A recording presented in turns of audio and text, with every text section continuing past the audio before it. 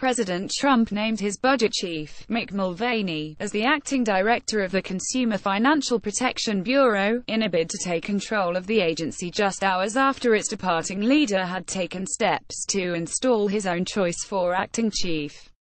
Carlos Barria Reuters Washington, alongside a legal showdown over who will lead the Consumer Financial Protection Bureau, the agency also faces renewed criticism, including from the official overseeing the Bureau as the case is being considered. Confusion has reigned as two acting directors have claimed the title Mick Mulvaney, who was appointed by President Trump, and Leandra English designated by the departing director of the Bureau, Richard Cordray, as his successor. Ms. English, the deputy director of the Consumer Bureau, filed a lawsuit on Sunday seeking to block Mr. Mulvaney, the White House budget chief, from taking control. A federal judge on Tuesday said that Mr. Mulvaney could lead the agency. In a news conference on Monday, Mr. Mulvaney continued to criticize the WCOG he has been asked to supervise.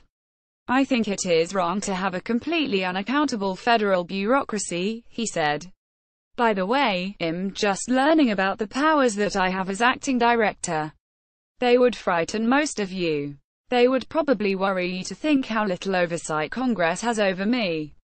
Republican lawmakers widely share that assessment, saying that there is nothing bipartisan about the agency, that it operated with very little transparency, really no oversight to Congress and that it did not add much at all to consumer protection. It is true that the agency was granted significant autonomy under the Dodd-Frank Act of 2010, and specifically intended to be insulated from interference by the industry it oversees.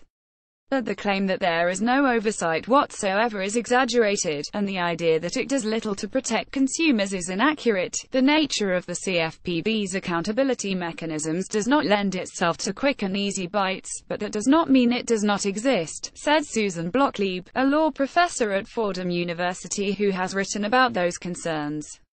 Those who say the Consumer Bureau is a rogue agency often take issue with its leadership structure and financial independence. A single director oversees the Bureau, serving a five-year term. Most other independent financial regulators are governed by a board or commission with members who serve staggered terms and have differing political beliefs. Like the majority of financial regulators, the agency does not rely on Congress for funding.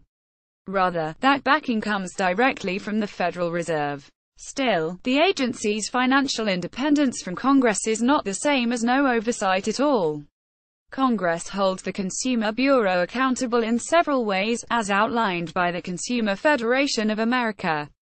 Its director must be confirmed by the Senate and is required to testify to House and Senate committees twice a year. Each year, the Consumer Bureau is asked to submit reports to Congress and undergo an audit from the Governmental Accountability Office, an investigative agency in the legislative branch. The Consumer Bureau is also required to coordinate with other financial regulators in the rulemaking process, and their objections must be included in the record. For example, when the Bureau issued a rule to allow for more class action lawsuits against financial institutions, the Office of the Comptroller of the Currency weighed in. There are also ways to override the agency. The Financial Stability Oversight Council, an organization also created by Dodd-Frank that is led by the Treasury Secretary, can veto any rule established by the Consumer Bureau if it has a two-thirds majority and if the rule would imperil the financial system. No other agency's rules can be tossed out in this way, according to the Consumer Federation. And while Congress does not have similar veto power, it was able to strike down last month an arbitration rule from the Bureau that would have allowed millions of Americans to band together in class action lawsuits against Wall Street firms. It can also dissolve the agency altogether through legislative action. The claim that the Consumer Bureau doesn't add much at all to consumer protection is inaccurate. The Dodd-Frank Act did not confer new financial regulatory powers so much as it consolidated the powers previously held by other agencies into the Consumer Bureau. But before the financial crisis that prompted the creation of the Bureau, Ms. Block-Lieb said, regulators were asleep at the switch and there were so many of them, it created a collective action problem. In its six years of existence, the agency has gone after debt collectors and payday lenders, set rules to protect mortgage borrowers and extracted nearly $12 billion for 29 million consumers in compensation. Ms. Block-Lieb called the criticism of the Consumer Financial Protection Bureau doing little absurd. Are they perfect? Of course not, she said. But they're important.